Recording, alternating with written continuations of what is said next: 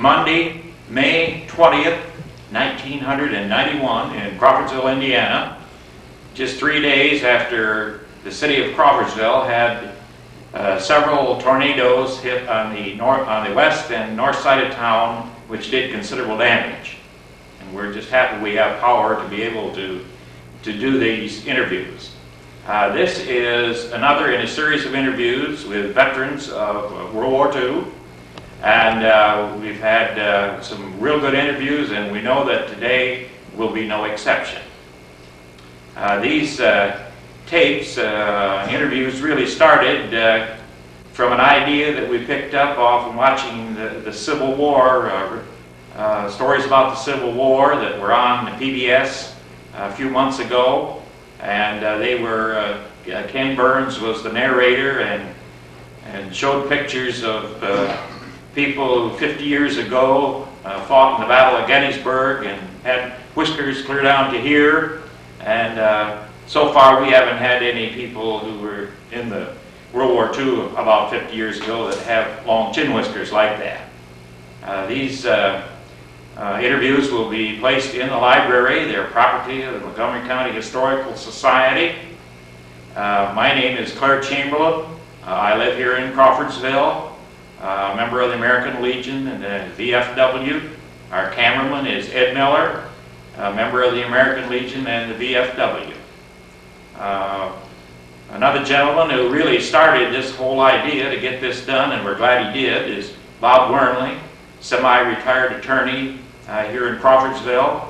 We've also had a lot of help uh, from uh, Mike Hall. Uh, We're taping from the Lane Place in Crawfordsville, and Mike is the, uh, is the executive uh, director, so to speak, or manager here at the Lane Place.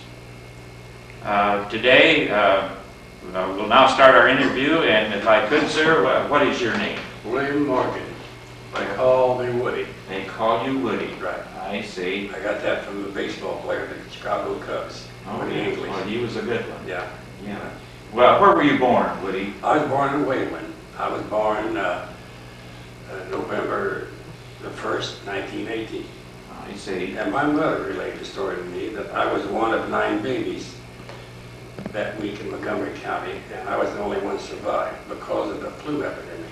Oh, I see. And uh, in fact, I didn't live at home for 30 days. An old lady, neighbor lady took me and kept me for 30 days because my mother had the flu when I was born.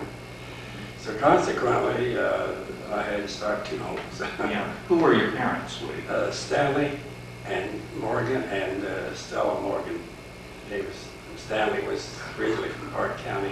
My mother was from Waveland. Mhm. What was her maiden name? Scott. Uh, She was, uh, let's see, her father fought in the Civil War. Oh, yeah. And he came uh, home from the war when his buddy got killed. And his buddy told him before he died that he said, when you go home, take care of my wife Mary, which later became my grandmother, and he did, he Mhm. married her. And- And uh, that's kind of ironic, you know, that that he would, he, his wife died after he got home, and then he married my grandmother. You know, it is ironic. Yeah. Uh-huh. Do you have brothers and sisters? Oh, yes, there was 12 in our family. Oh, my goodness. There was uh, eight boys and four girls. Where did, where were you in the line of I was seventh child. seventh child? I guess that has to be considered lucky, number Must be seven. seven. Right. Uh, where'd you go to school? I went to school at Waveland, Waveland High School. Then I got transferred to Brazil in the last couple of years. And uh, stayed down there till later on, lived up on a farm by Hillsboro. And uh, they closed the mine down because of a strike, and I worked in the coal mine, which experience I'm glad I had. I know how coal miners had to live. Yeah. They'll all mine coal all week and go to town and drink beer on Saturday night and tell about how much coal they mined that weekend. Right. Uh, after school, did you graduate from high school? No, I just withdraw. I I was due, I had to, because of the economic situation, Mhm. I just could not go any further. I had to go to work Where'd you go to work? in the coal mines. I Mhm. lived in Brazil at that time. I see. The coal mines. Then what'd you do? Well, then I worked at Turkey Run State Park in the hotel for four years after that. And I drove a taxi here in Crawfordsville in the wintertime when I'd get laid off. About what year would this be, Woody? Uh, 1937 through 1941, Okay. uh, till September 41 when I went into service. So I worked for four years in the summertime, from about April till about 1st of November, and then I would um, come back to Carlsbad. I drove a cab for the yellow cab company in the wintertime. Didn't get much money, a dollar a day, seven days a week. That'd go a long ways, But though. uh, it- it- I survived. That's all you had to do then was survive. Right. When did you have uh, ideas about going in the military? While I was at Turkey Run, there was three of us that decided we was going to visit a friend of ours that had been drafted from Turkey Run. He was in the Army, and we went down to see him at Camp Lee, Virginia. And uh, when I went in down there, I was so depressed from seeing what was going on around there. It was depressing. And uh, in fact, this friend of ours, when he saw us come to visit him, he just broke down and cried. He's, he was so happy to see it. And when I left, I went into service September the 16th. This was the first week in September. I knew that I was... 1941. 41. I knew that I was not going in the Army. Nothing, I mean, it just depressed me to see what I saw. And I always wanted to go in the Navy anyway because there was a fellow from uh, Waveland, uh, Raymond Hanna, had gone into the Navy and he used to talk to me about it. And it excited me when I was a kid. He'd sit on the streets. In fact, he was lost overboard down around Cuba someplace. Hmm. And uh, so I decided when I come back, I was going go into the Navy. And I went to Terre Haute to enlist down there because I was a turkey run. They didn't have a Navy recruiting office here. So uh, they took me in. And on the 16th of September, I enlisted and they sent me to Great Lakes Naval Training Station. At that time, they only had 6,000 people there on, in the, in the camp, Camp Barry. And before the war was over, they had 150,000. So, Right. so it grew quite a lot while I was in. So then I went to school in Connecticut after, Let's go back to boot camp a little bit. What did you do in boot camp? well, I almost got killed there. The guy was taking these heavy lines and practicing throwing them, and he just missed my head just about that much. I could hear the wind off of it when it went by.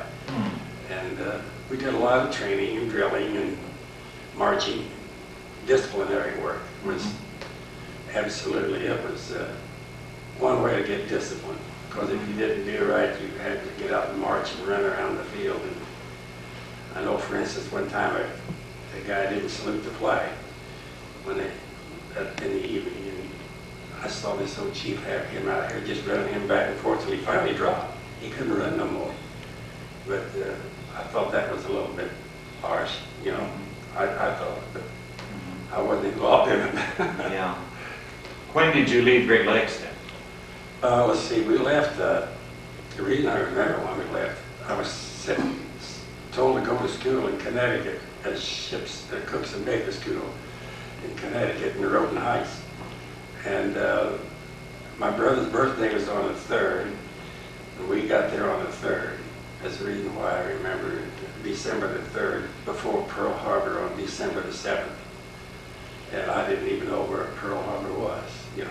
I was just new in the Navy and hadn't been around. But an old chief told me where it was. It was in Honolulu. And uh, I was pretty well saddened with all the casualties we had. One reason I went to, in boot camp, I was with uh, a young fellow. He told me his brother was stationed aboard the USS Shaw in Pearl Harbor, and the brothers could go to, together at that time. And so he uh, put in be join his brother, which he did. And I always wondered, he had just about had time to get there, if he did get there. I never saw him again. And I happened to uh, know a fella that was on the USS Shaw that was stationed with me at Floyd Bennett Field. And I asked him if he knew this kid. He said he didn't know. He said we had so many casualties. I didn't. He said if he was just new aboard ship, I wouldn't have known him.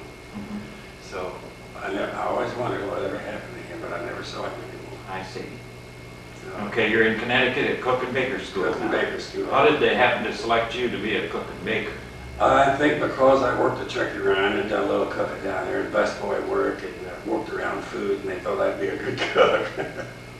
But I come out all right. In the end, I was the chief commissary steward, four years old, or not at that school, but Yeah.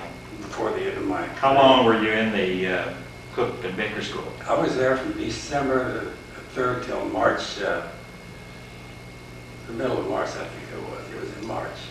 What'd you do in that school? Just practice Oh, we- Yeah, we, we we took training in how to cook. They had old-time chiefs and knew how to cook and taught us.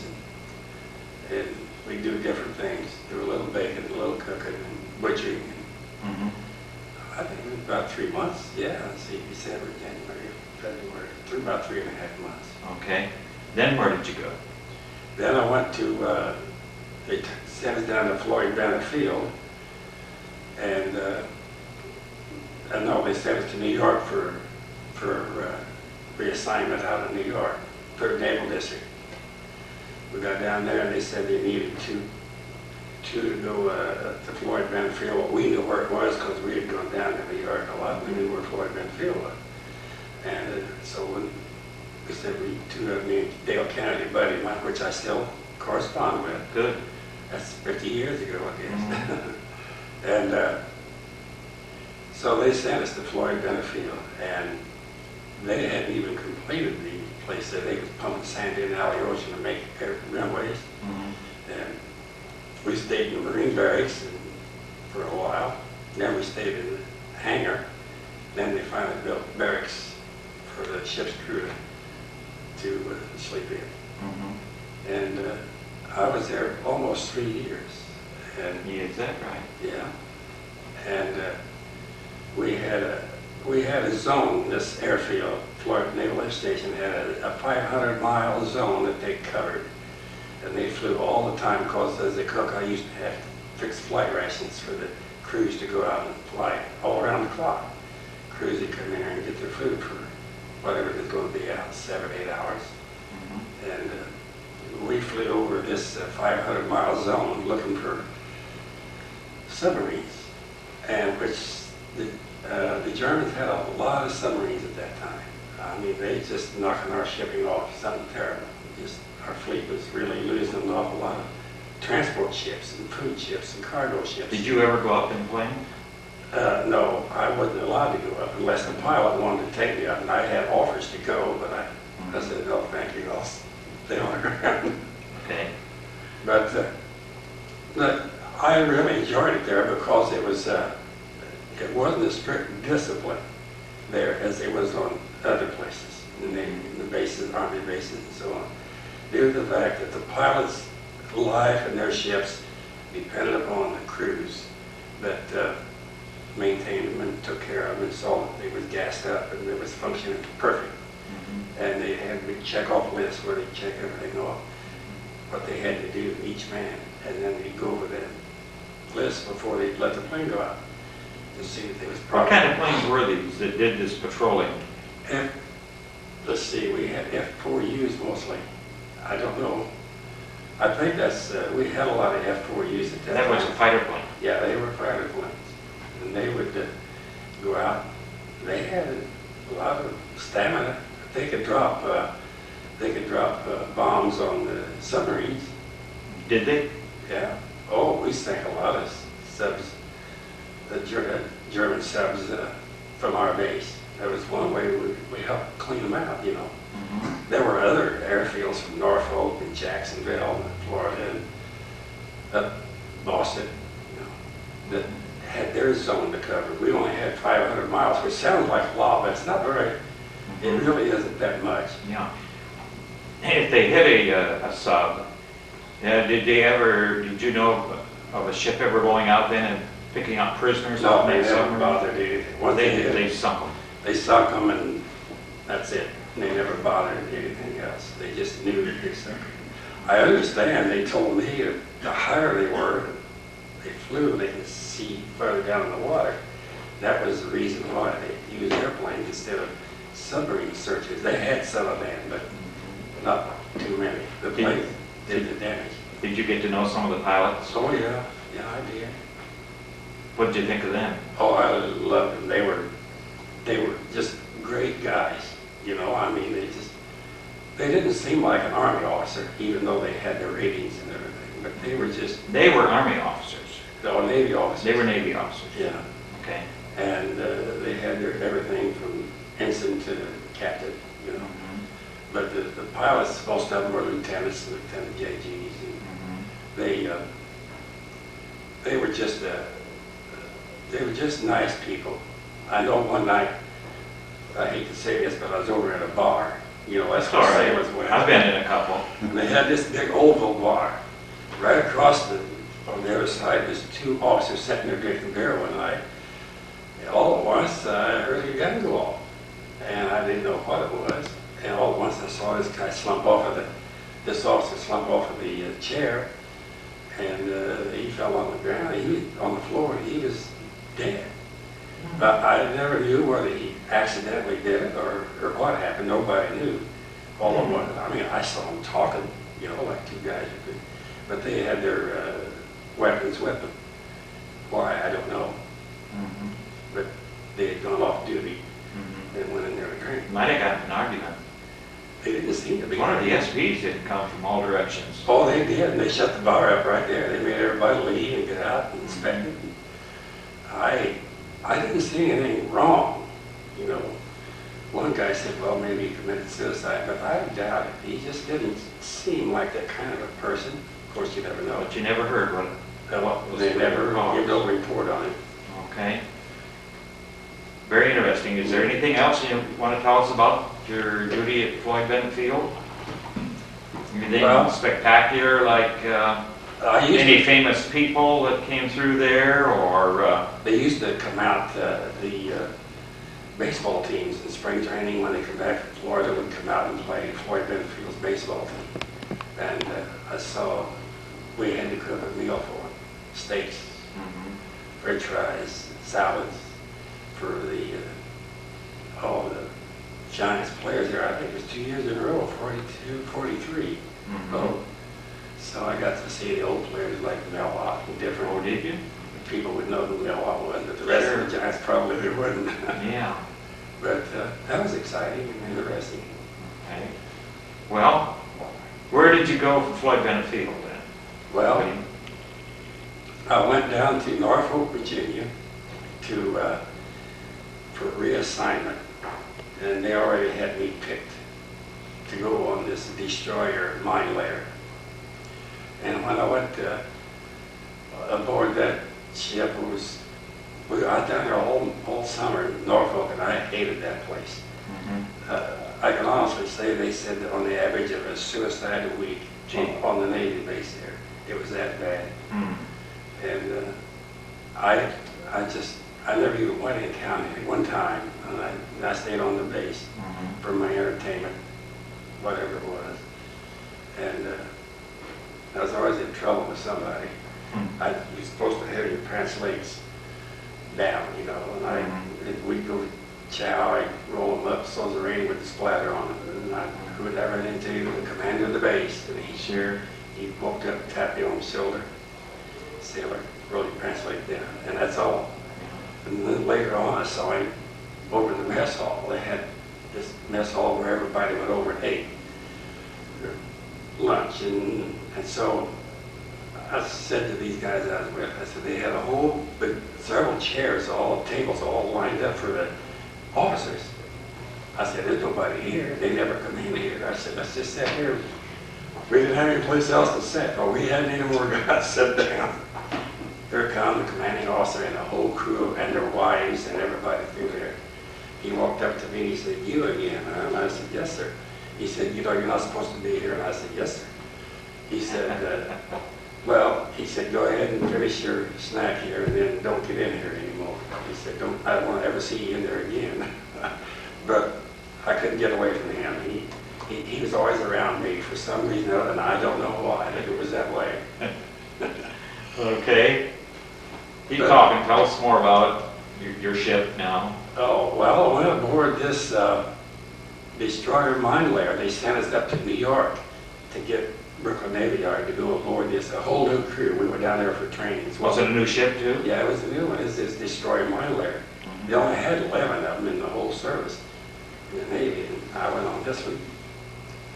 Uh, I went, we, we went aboard the middle of this ship here, and then we went on a shakedown cruise, Mhm, and we went down to Bermuda for that. mhm.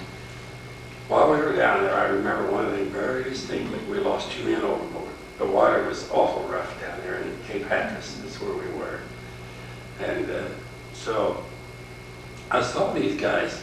I went out to take some bait crates out on the deck and set them out there after a drill we had. We just had a drill, general drill. And I was, I was the cook and all these bait crates and everything was in the way. So I just went out and sat on the deck. I was going to have the rest cook take them to the back of the ship where we put all of our stuff Mhm. and uh, back on the fantail. So that whole ship started going down right when I turned around. It started going down, down, down. I reached in there and I grabbed a hold of a, a railing. Mhm. And water was up around my knees. And I looked around and there was those, those uh, egg crates and all that stuff floating out to sea. And I looked up and I saw somebody going by, you know. I said, my God, that's somebody got washed overboard. And uh, so I- I didn't have my life jacket on. But that's the last time I ever went on deck without my life jacket. I could just see me out there.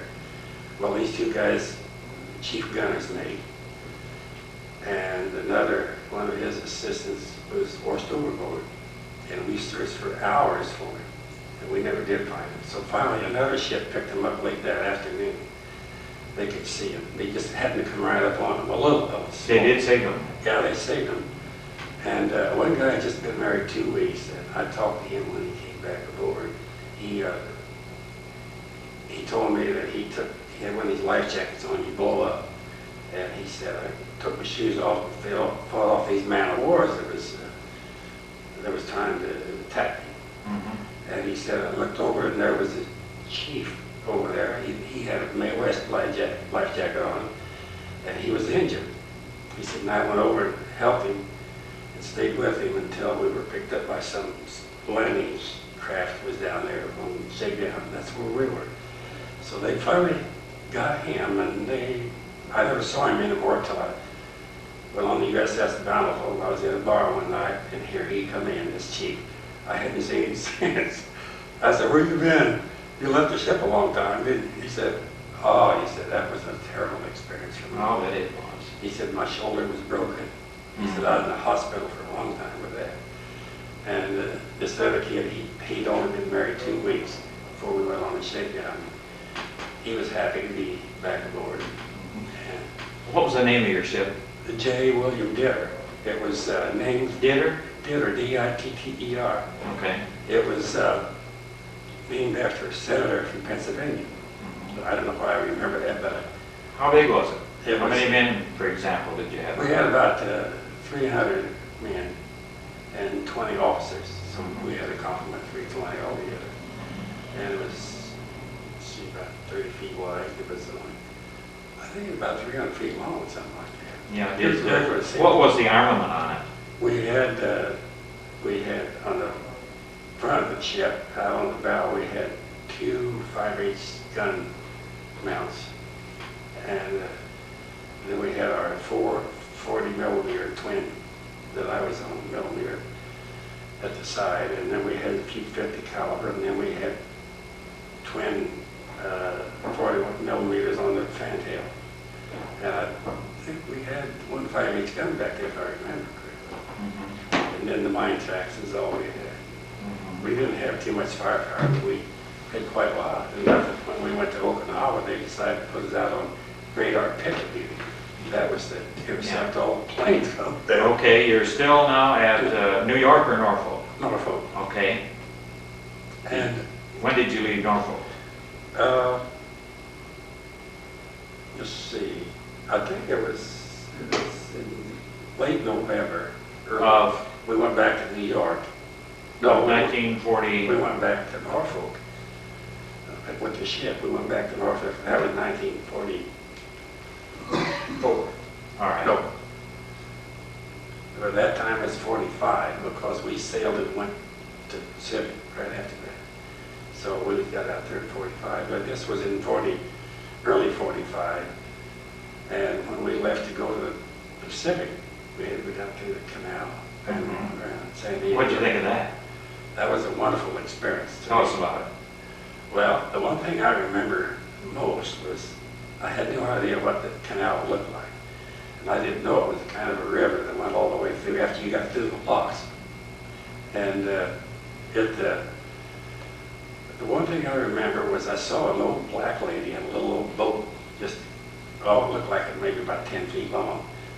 And she had oars, and she had full bananas. I don't know where she got them. I suppose they're in the jungle somewhere. And she thought we was gonna hit her. She was just rowing just as fast she could go get away from us. And then it was hot. Oh, it was hot. And uh, Panama was, was dirty. It, like all them countries down in there. It was just, I wouldn't use anything like that. And uh, the trip through was nice, but I was glad it was over. And I've never been back since. Yeah. And, uh, and we went around through the canal and Then where'd you go? to San Diego. I really remember pulling into San Diego, and the weather was, it was cold when we left, about 15 above zero and six inches of snow in Norfolk. We got around there and it was, uh, they had uh,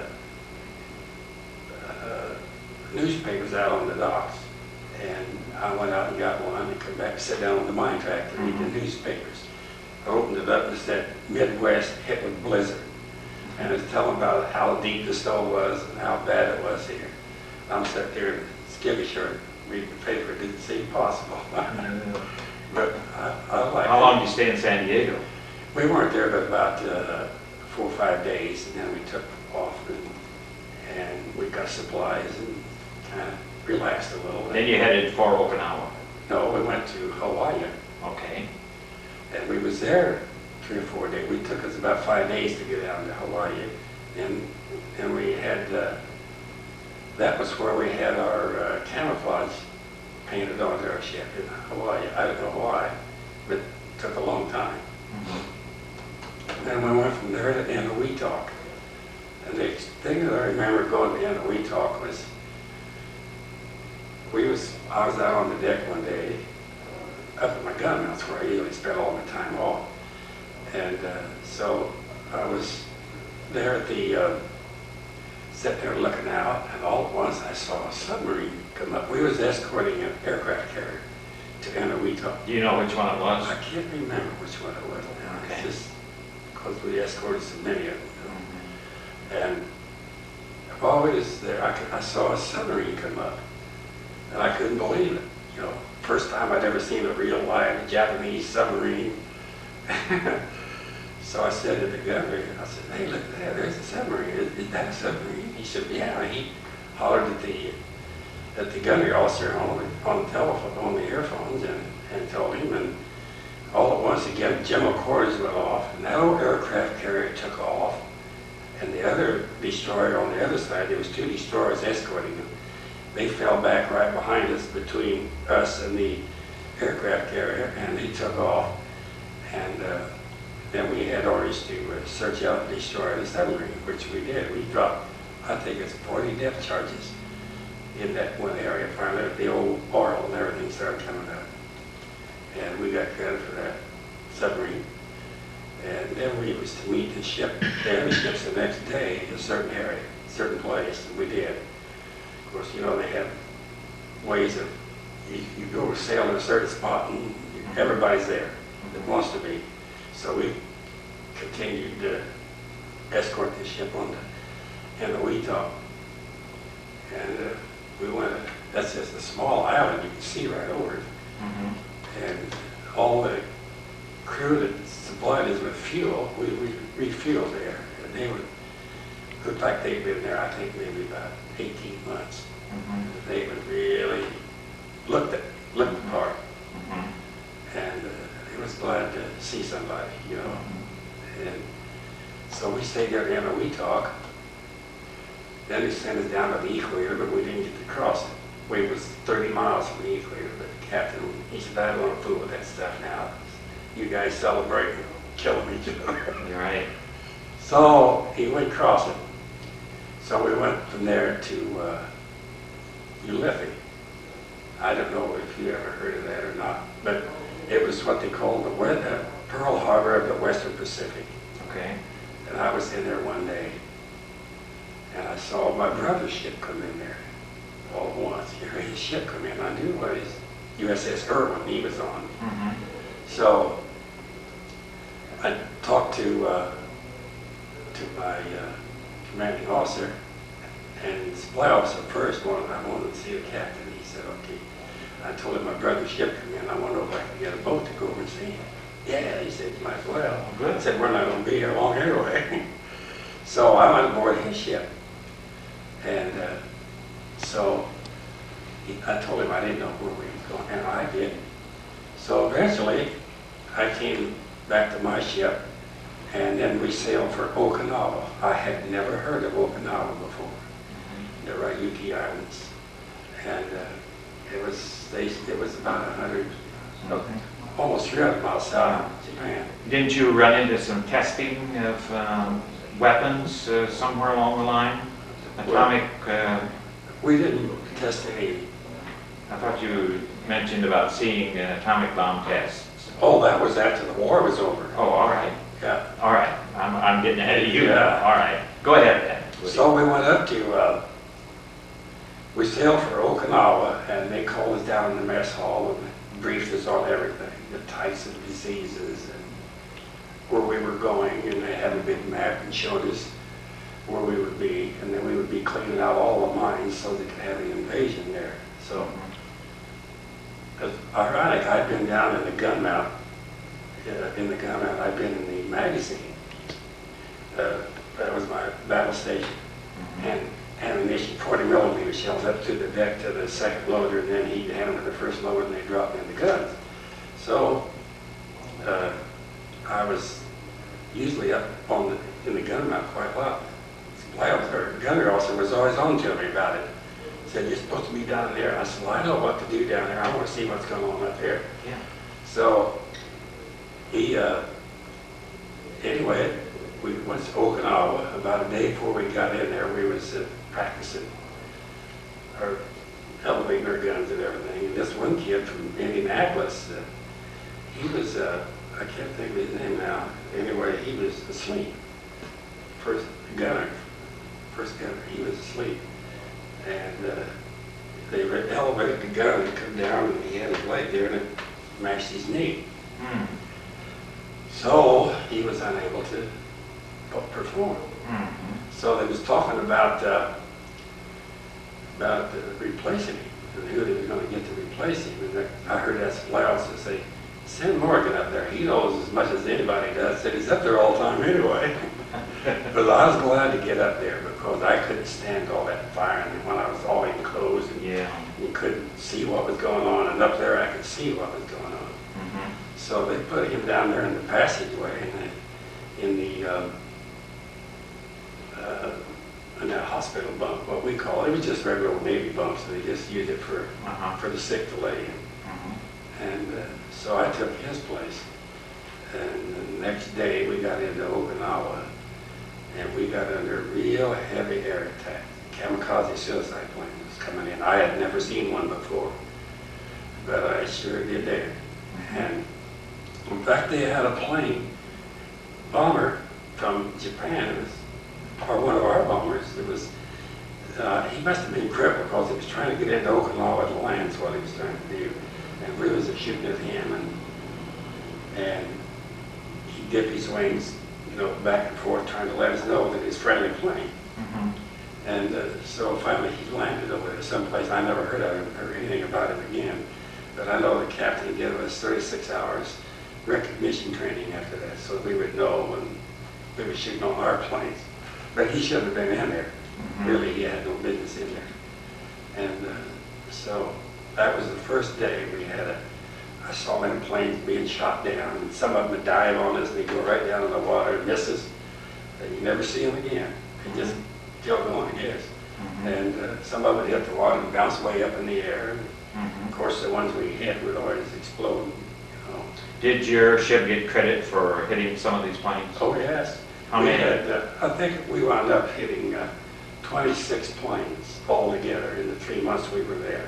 Mhm. And uh, we, uh, we weren't there, uh, I think it was 26 planes and one submarine and then little mini subs they had there in the, bay. We got Well, what date are we talking about? We're talking, the, the invasion, we went up there in March the 26th to sweep the 45. mine. uh, 45, to uh, sweep these mines.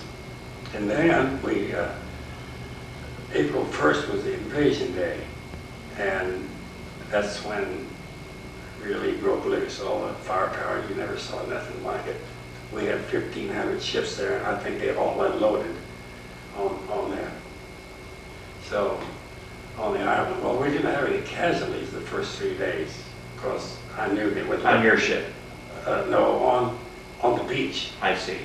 because when they landed on there, and then we, they went in free, they didn't have, we cleaned that beachhead out really good. Mhm. But you know, it's a funny thing, I could, we could sail there, but by being on the mine circuit, we had to go right up as close as we could get to the shore Mhm.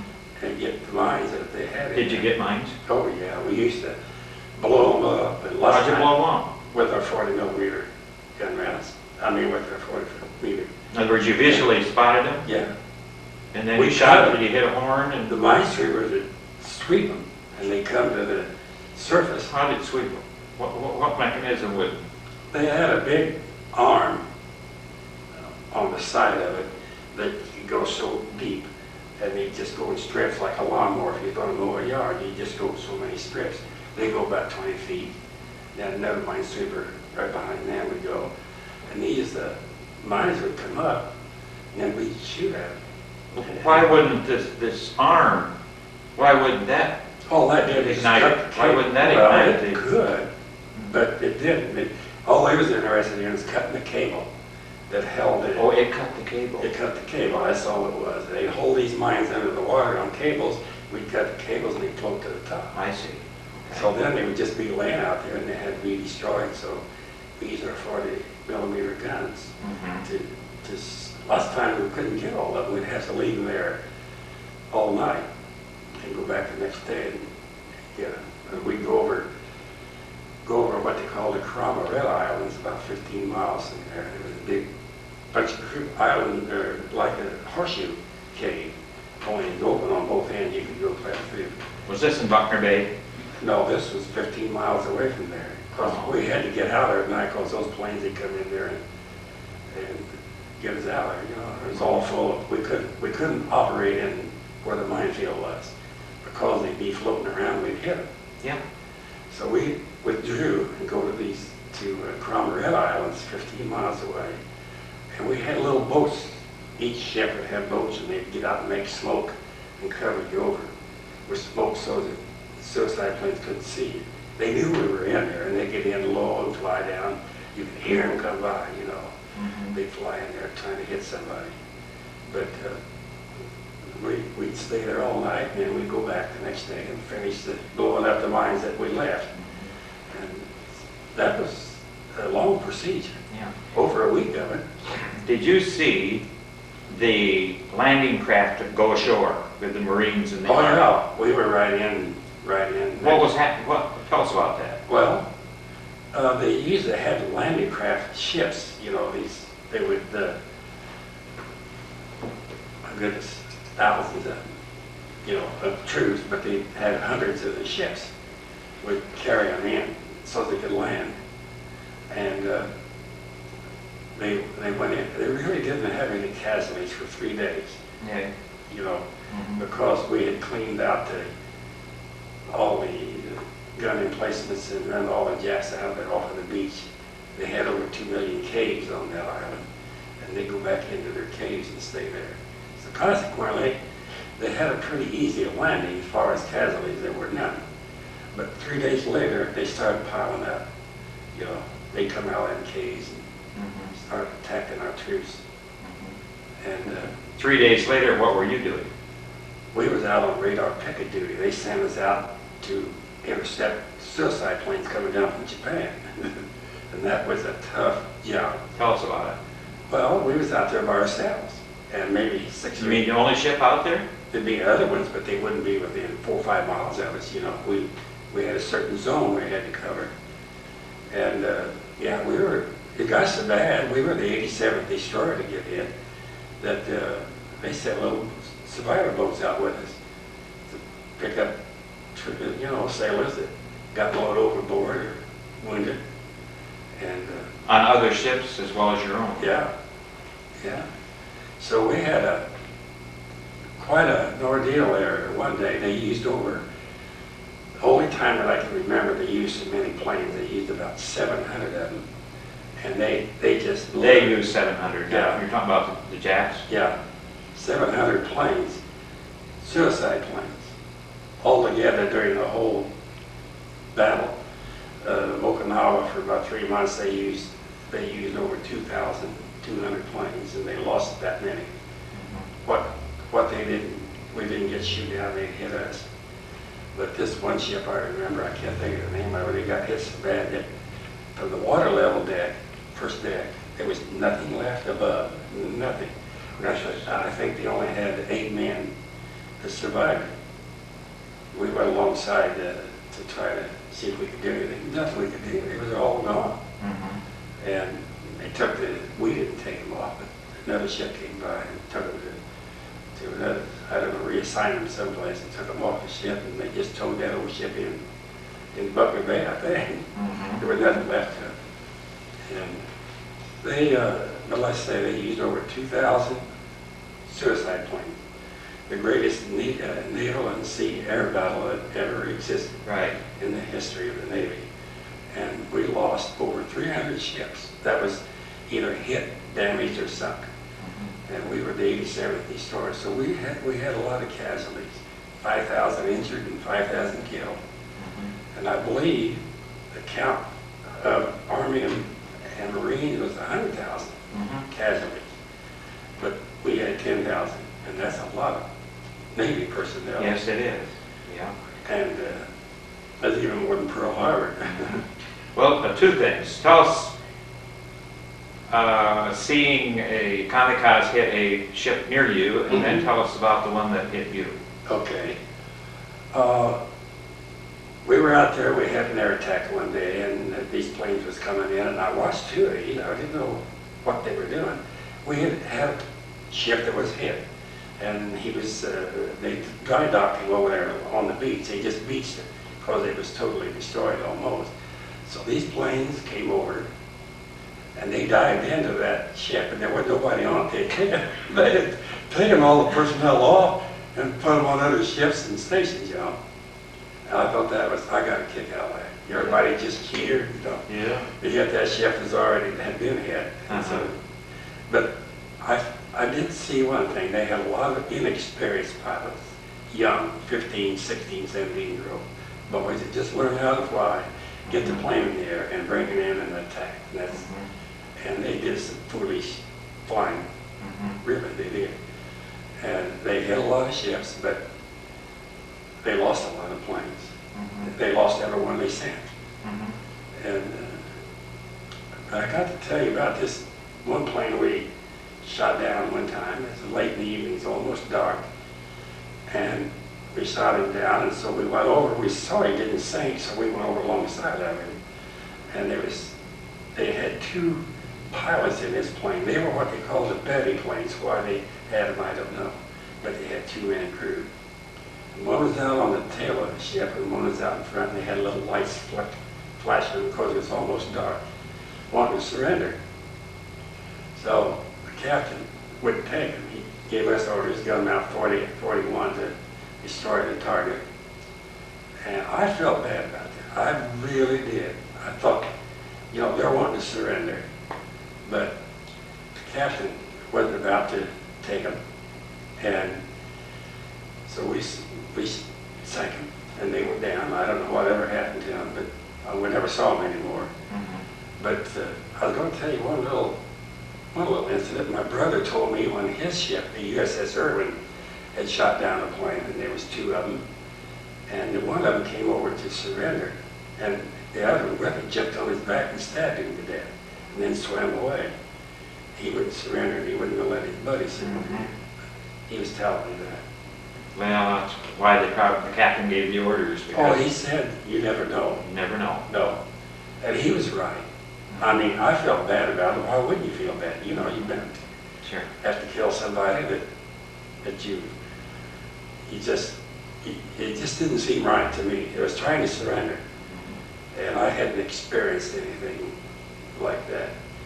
Like my buddy that was on his hospital ship with me, he was there on the beach at Okinawa, and he told me those uh, uh, Marines used to capture, capture these, they'd go in and interrogate them. And then the commanding officer said, we'll take them down to the brig. Well, there was no brig. They take them down, march them down, and then make them squat down in, in the tree, and then they shoot them Mhm. shoot him in the guts, watch your guts roll out. This is, this happened. Yeah. And he, he said, uh, I said, how'd you get away with it? And he said, well, uh, they just said that uh, they tried to escape. And there was no more questions asked. This went on, but they did our troops the same way. They did our troops Yes, they sure did. You couldn't trust them. No.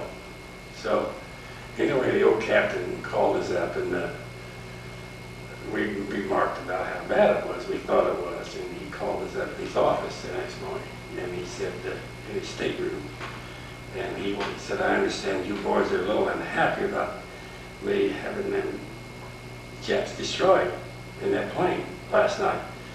I said, yeah, I, I just didn't feel right about it.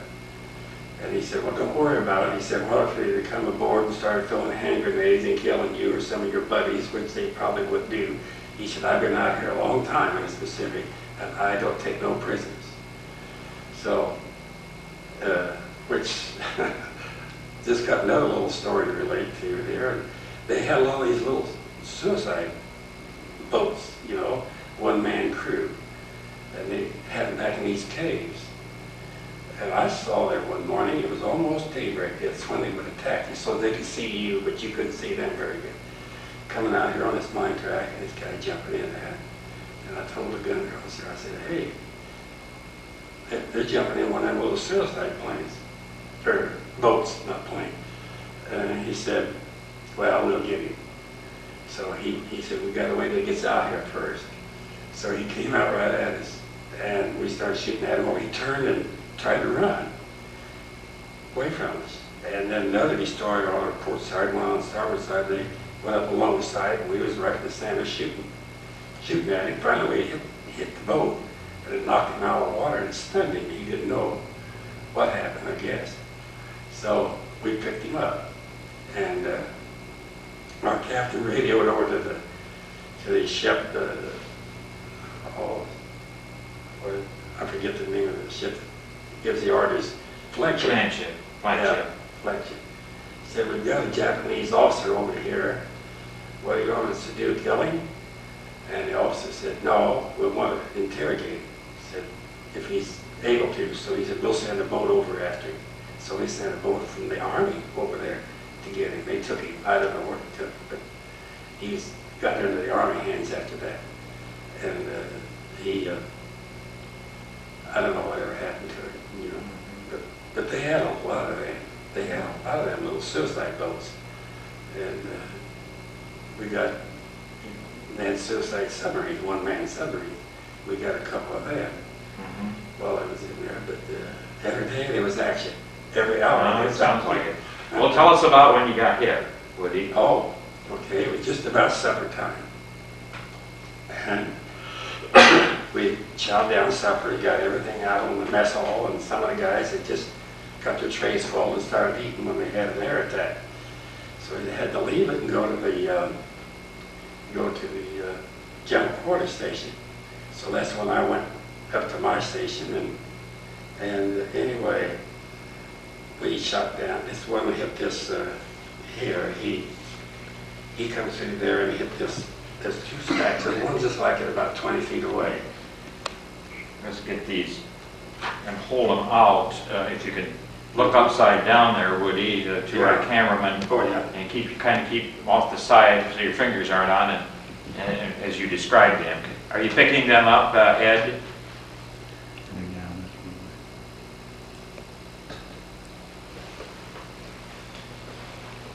I had more pictures, but I do not know where they are. I had some good ones, showed the 52-foot hole, and Mhm.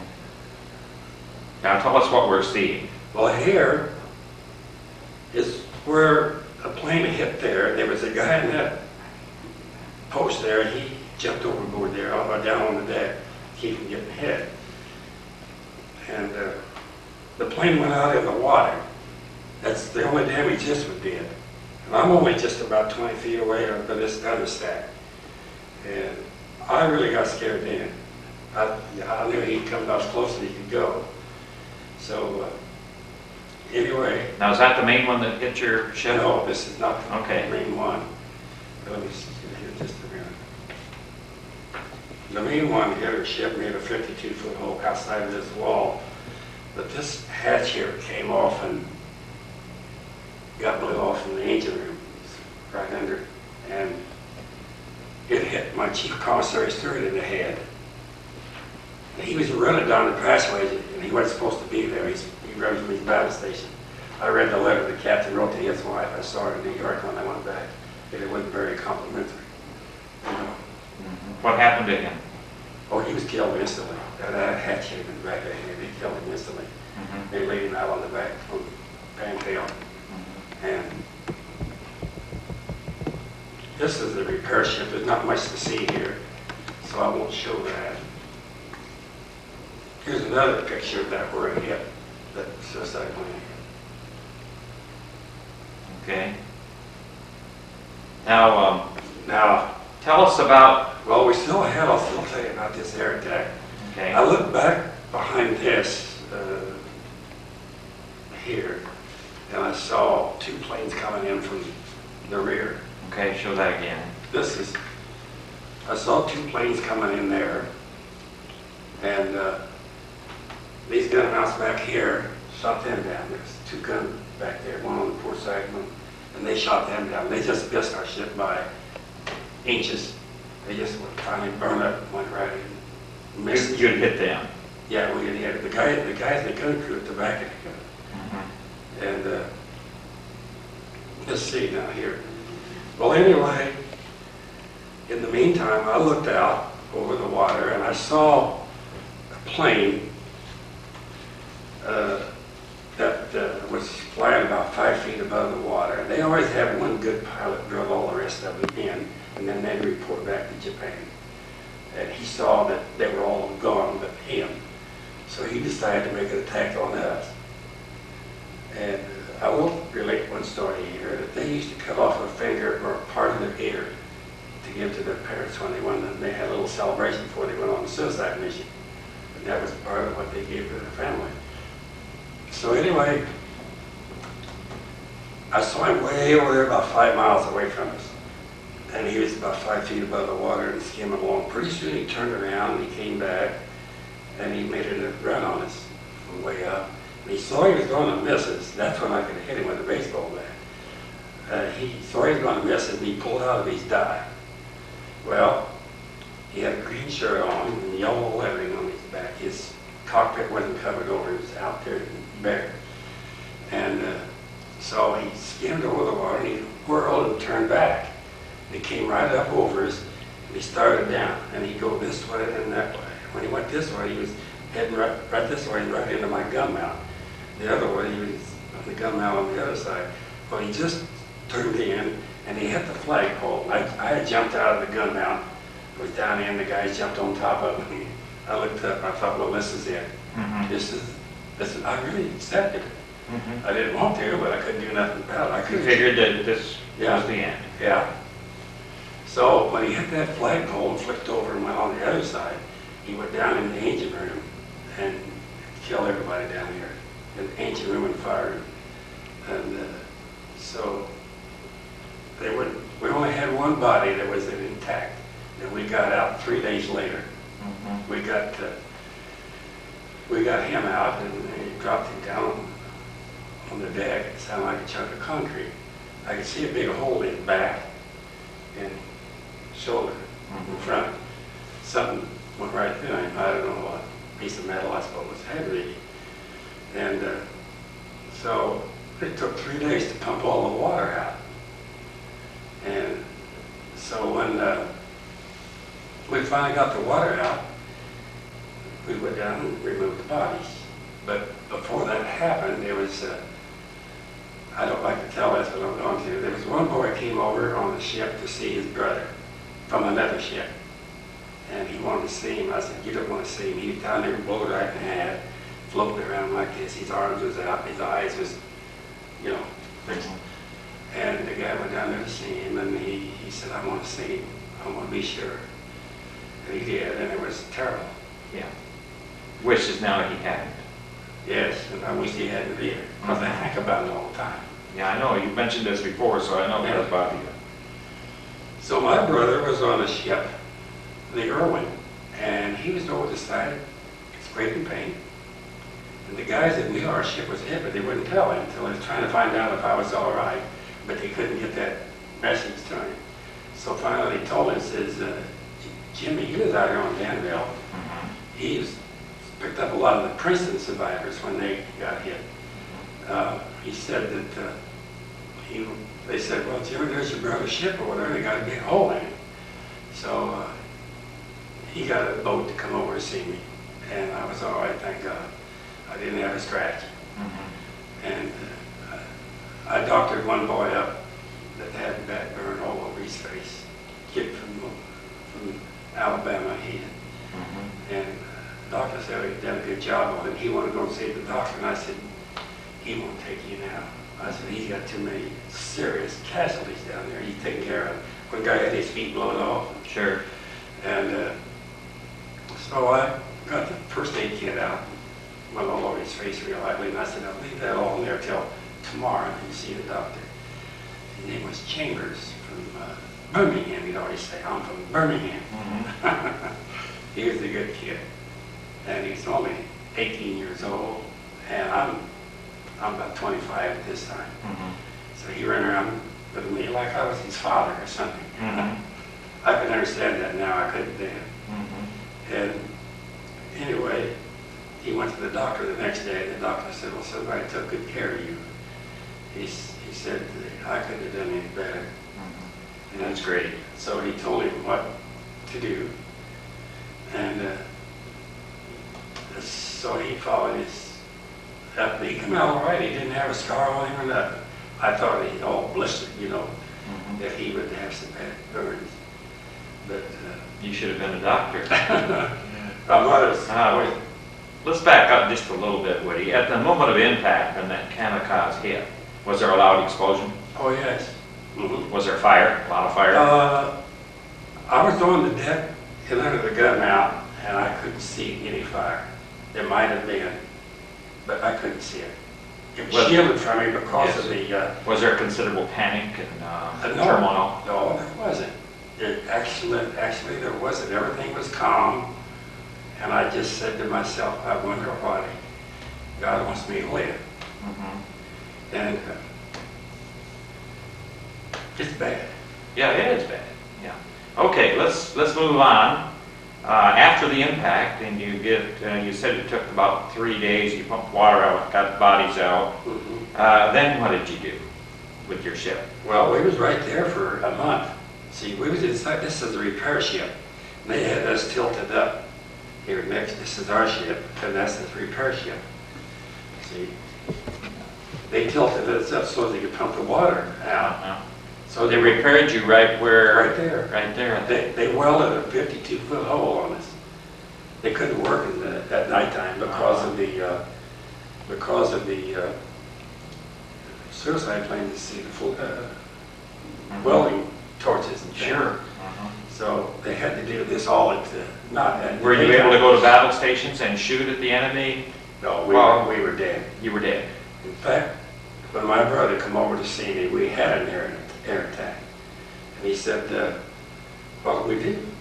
I said, well, they told us to go to our um, bunk room and scatter out all over the ship. Don't stay at your battle station, go wherever.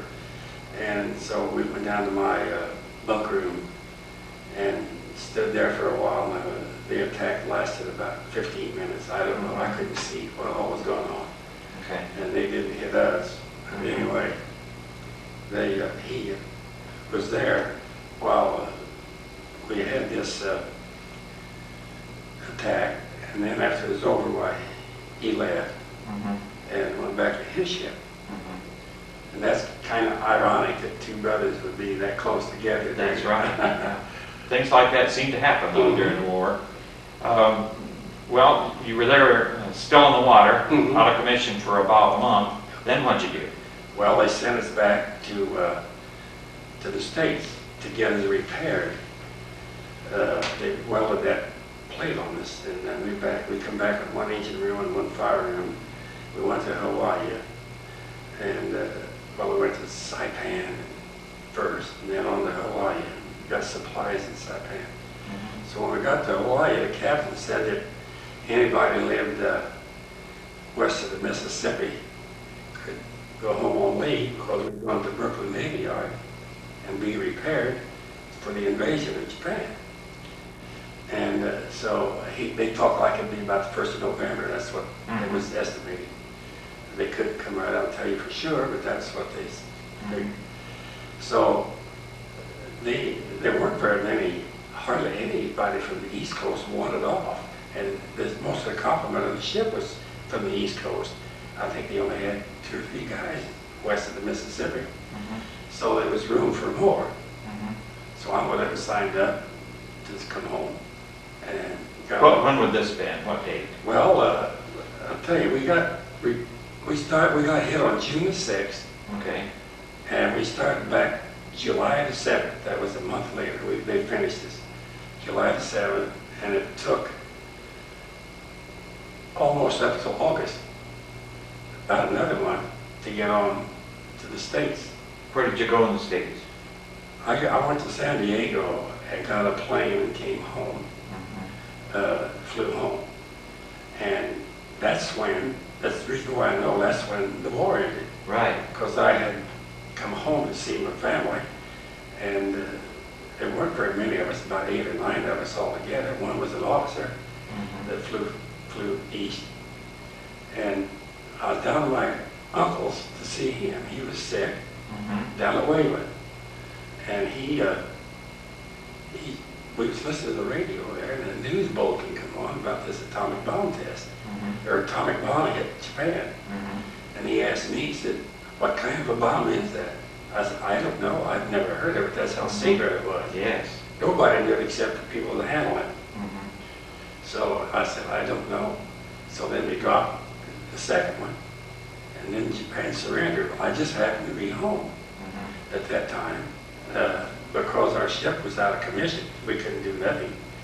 So I was supposed to meet my ship in Brooklyn Navy Yard. So when my leave was up, I think I had 10 days, I went back to the Brooklyn Navy Yard and, and signed in. And at that time, the Navy had decided our ship was so badly damaged inside, take a new engine room and fire room and get it back in shape, that it wasn't worth the money. Mhm. So they junked it.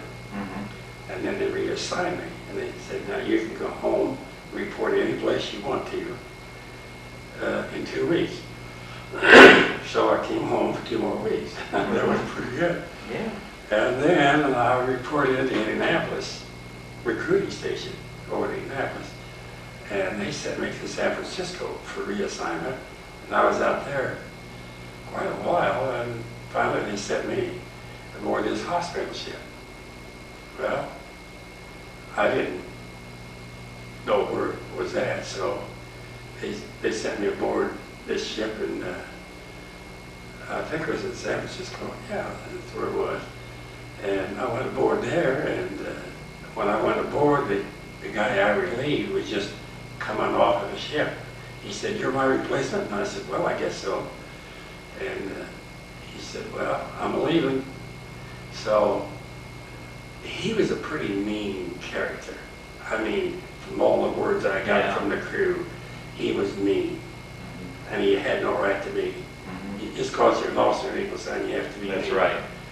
So, anyway, I took his place, then we went to Japan, and we got over there about the first of November, I think it was. Mhm. And I was there till the next May. Mhm. So I, I went up to the executive officer one day, and I said, sir, can I ask you a question? Yeah, what do you want? I said, I'd like to go down there to Bikini, that bomb test. I said, I've been out here for the place for so long, I'm tired of it. And he said, well, he reached over and tapped me on the shoulder and he said, I'm glad that you want to go because tomorrow we leave for Bikini. Is that He said with that hospital ship? He said, What was the name of the hospital ship? USS Bountiful. And uh, he said, uh, we got to go back to the States first and pick up some supplies. And he said, we may have to pick up some billy goats. I don't know. He said, they're tough about everything. so we come back to San Francisco and we picked up supplies and organized our trip to, uh, to Bikini, which I had to get supplies, food supplies, because I was chief commissary steward. Mhm. And I had to be sure that we had enough supplies. So You were a chief then? Yes, I was the chief. I made chief when I went aboard this hospital ship. Good. And, Did you uh, find that to be a little better duty than the grades below that? you know, when you get first class, you don't have too much to do. You have a lot of responsibility, but you don't have the work to do. Yeah, I, I like, I only worked about two hours a day. You had to change uniforms too, didn't you? Yeah, I changed uniforms. In fact, uh, when I was, uh, I hadn't been on there for about, about about a month when this flight officer called me down and he said, Morgan, he said, we need, we, we need a chief aboard here. And he said, you've been awful good to help me. He said, I come aboard here new, just like you did. And he said, I didn't know anything about the supply part of it. And he said, the man using thing. He said, you've done a good job, you helped me immensely, and we need a chief. So I'm gonna recommend you a chief. He said, I gotta give you a test. And all it was was just a test over my duties I had done since cook Oh, school. that's great. So I didn't have any problem with that. In fact, uh, before I left that ship, he uh, wanted to give me a warrant officer's rating. I Oh, said, yeah. no, I said, I'm, I'm leaving the Navy. I don't want a warrant officer's rating. Which, now I look back and it's kind of stupid, you know? That's been great. Yeah. Okay, you're on a hospital ship and you're heading for where they're having the atomic bomb tests, right? Okay, tell us about that. Well, they, uh, I think they delayed it one day because of the weather. And uh, so the, uh, we had orders to cover our eyes during the flash when it detonated, uh, which I did. I didn't want to take a chance on losing my eyesight. And we was in close and they dropped this. We had a, about a three mile area of old ships left over from the Navy that they wanted to use for testing. This bomb test went off about three seconds too soon, which was about 1,500 feet, they estimated. But my goodness, the damage that it didn't do. It just took an aircraft carrier deck and just rolled it back like a can opener would open a can.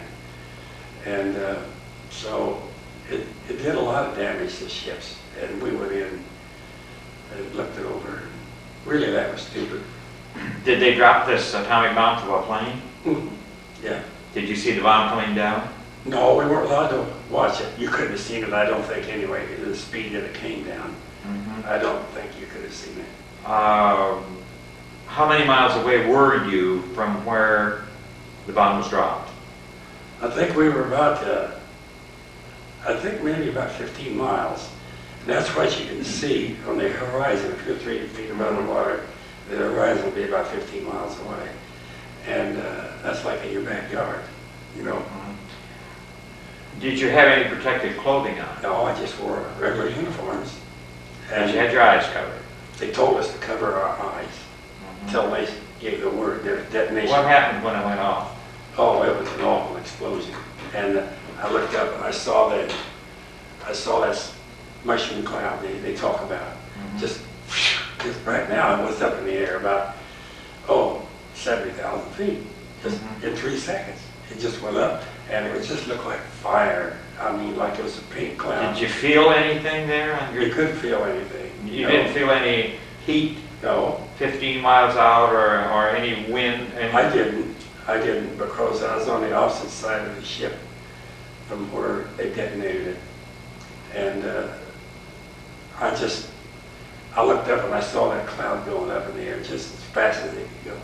It'd have to be the atomic bomb to go off, to, to go that high, that. Yeah. Three seconds, 70,000 feet. Now, That's moving. Yes, it is. And then, uh, on top of that, it was, uh, the cloud, like a big pink cotton ball, like you'd see at the carnival, you'd see these pink Yeah. candy, candy. Sure. That's the way the cloud looked, the color. And uh, I, we didn't know what was going to happen. We did not know. And you just took your chances like you did during the war. Mhm. But I wasn't afraid of that one as the underwater test that they had. Tell us about that. Well, they had, uh, the the USS Cumberland set off by radio the underwater test they had. They put atomic bomb over the surface of the water, I don't know how far down. And the USS Cumberland set it off by radio. Well, it just shot up there. You never saw such an explosion of water raising in the air. I mean, it was for, looked like a mile and a half across up in the air, and you could see them ships floating around up in there. Look, it was little chips in the water. And that was uh, quite a, it's kind of scared me because when that water came down, there was a tremendous wave come right at us and about four or five feet high. And we turned into the, into it. And, you know, I used to be concerned maybe about radioactivity, Mhm. picking it up there. And I know it had to be there, Mhm. but apparently it's never affected me any, I don't think. Did you have any protective, I asked No, you that. no, You we didn't didn't. have. No. But the underwater test was, to me, was the most uh, exciting part, as far as the testing of it is concerned. Mhm. And I knew then that ships could never, never travel close together, you know, like they should. Mhm. If there's an atomic bomb going to be dropped on them, like they had all them uh, ships over there in the desert storm there in the Gulf. You can't operate that way against atomic bombs. No, And I don't know why they ever expect to, they can't. no. But they, uh, there was uh, quite an experience to me. And then they stirred up all the shark in the, in the Pacific, I think. They were swimming around the ship for, for days. Uh, Were there dead fish too? I didn't see too many dead ones, but I saw an awful lot of sharks swimming near the ship. Why, I don't know. But they did. Mhm. And there's a lot of things that went on that I don't know the answer to. But the, the thing that got me was all those sailors and crews that went in there to test those goats and animals they had and test the, you know. But I know for sure, one thing for sure, this world cannot use atomic weapons against each other. It's just madness after seeing that. Mhm. It's just, it's just madness if they ever try. Yeah. It'll destruct Oh, the whole yeah. universe, Right, or the whole earth. yeah, Civilization will be gone. yeah. Well, what did you do after the atomic bomb test then, Woody? Well, they, they brought us back to uh, San Francisco, no, Seattle. They brought us back to Seattle. And we went there, we was there for about a week. And they finally took me off that ship. They decided they was going to destroy that ship to put it out of commission. They took all the crew off. They sent me down to San Francisco, and they reassigned me to the USS Law. It wasn't even commissioned yet. The USS Law a- at the destroyer. I laid around there for several weeks, and finally, uh, they they said they was going to go a shakedown cruise to the Pacific. Well, I'd had all that I wanted, so I said, they had an ALNAV 545, I believe it was, come out from the Navy, that if you had four years of of service of certain rates that you could apply to get out. Well, I had about six years at that time. Anyway, I went over and signed out, told them, they tried to get me to join the reserves, and I said, no, I want out, period. And I don't want to go back to the Pacific on another shakedown cruise. Well, I wound up that ship, I read the paper when I got home, after I was discharged, they went to the Mediterranean. I wish they'd have stayed on. If I'd have known that, I would have. But uh, anyway, uh, I came home then, and uh, I, I, I waited about three months to get my discharge. And I kept waiting, waiting. They always put a list of names out. I'd go over and watch the list every day, and my name wasn't on it. So finally, I went over to the office one day, and I told him, I said, I want to know why I can't find, get me discharged. I've been waiting three months. And the guy over there, the chief said, well, let me look and see if I got your records here. So he looked through a bunch of files and finally found them. He said, boy, he said, these records have been here for a long time. He said, why, I don't know. He said, I have nothing to do with posting discharges. And he said, you can be here forever. And I said, I don't want to be here forever. I want to go home. So finally he posted my name and I was gone in three days. And And you came home. I came home You were discharged where? in uh, San Francisco. I see. And then you came back to Montgomery County? Yeah, I went down the way from my brothers lived there and I wasn't married. Then what'd you do? Well, I kind of, my dad had a sawmill out south of town. I came home and worked with him for a while. And I wanted to go into the uh, lumber business and hardware business and get a loan, you know. And he wouldn't, didn't want to work with me. He said he was obligated to his nephews rather than the uh, sawmill. Somewhere along the line here, did you get married? Yeah, I married uh, my wife. uh, What's her name? What's her name? Joanne, Joanne uh, Carter. And uh, I met her through her, her mother. Her mother was a dispatcher down at the Yellow Cab office. Mhm. And she came in one day and then she worked at the uh, ice cream place down on South Washington Street. Mhm. And uh, I met her, so we got married. Did you have any children? Yeah, I have two children. One lives here in Crawfordsville and one in Carmel. Do you have any grandchildren? I have four granddaughters, and I have a, I had a stepdaughter and a step grandson. They're in Florida. They've been down here over 20 years. Mhm. So What do you do now I'm retired. I worked for Alcoa for almost 30 years. in uh, Lafayette? Yeah. And I did live up there for a while, but uh, the kids want me to come back down here to be with them. Mhm. And Well, at this time, we'll pause for a moment. Woody, uh, let's go back to, uh, to the occupation of Japan, uh, when you uh, went into Tokyo Bay. Uh, Tell us what happened there during the occupation. Well, we went in there to, uh, the, the hospital ship went in there to service the fleet, the sicknesses or whatever, you know. And so we was there from, I think, early November till the next May, till we got ready to go to Bikini. Anyway, I saw a terrible amount of poverty and people just running around with no place to sleep and no jobs and so many so many children were dying, and they was carrying them down the alleyways with flies blowing on them. Uh, they didn't have a, any good restaurants because it was all done away with. But uh, you'd see maybe some guy would take some old poles and make a three-sided place for people to go in and eat. And he'd have a big old barrel at the side, and he cooked fish, rice, and everything right in the same barrel, and turnips. And that was, you know, that was good eating for those people, which they didn't have much in the first place. And I saw a lot of poverty, a lot of bomb destruction. Tokyo was badly, badly damaged. And Wall Street, you couldn't get down yet, you know, buildings over the streets. Uh, I believe it was Kobe that was badly damaged too, if I remember right. And uh, Yokosuka, Yokosuka we call it, but they call it Yokosuka, wasn't too bad, I didn't think. They had a good officer club there, a place for the chiefs and the officers to go and drink, have a few beers. I did talk to one guy, said he was a kamikaze pilot, but I doubt it.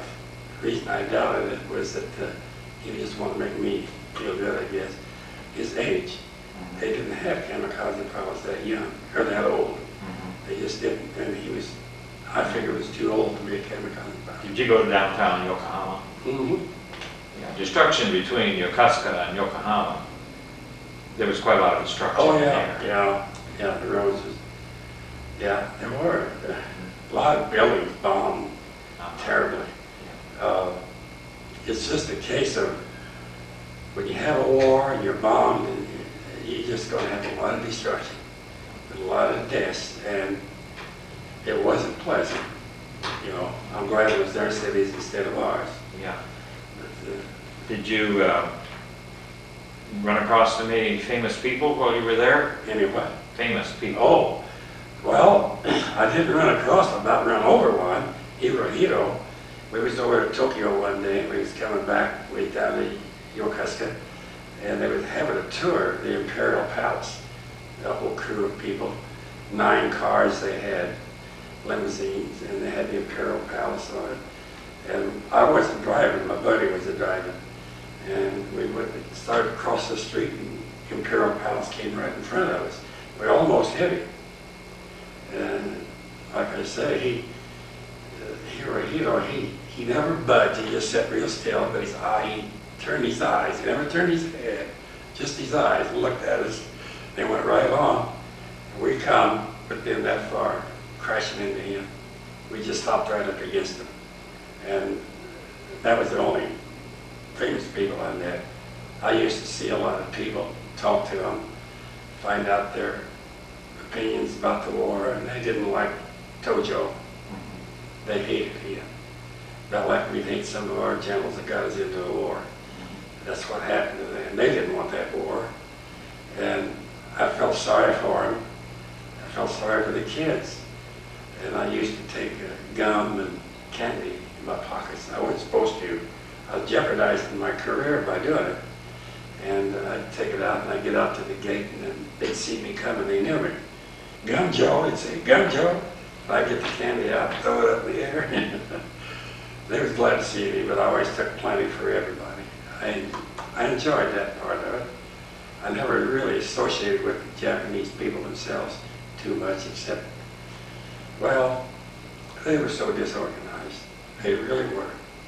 And they didn't have anything, no jobs, no food, nothing, just mercy. I used to go, oh, there was an army base over there, a company of army personnel, they had about 100 men in I think, and they come out at noon to scrape their, their trays. And then Japs used to just about knock the trays out of their hand and scrape what food they could get. And that was, that was sad. Yes, it was. Yes. Well, Woody, this has been a very interesting uh, interview. Uh, This time, I want to thank you for what you did for America during the Well- World War II, and uh, wish you well, and thanks so much for giving us this interview. Thank you. Thank you. You're welcome.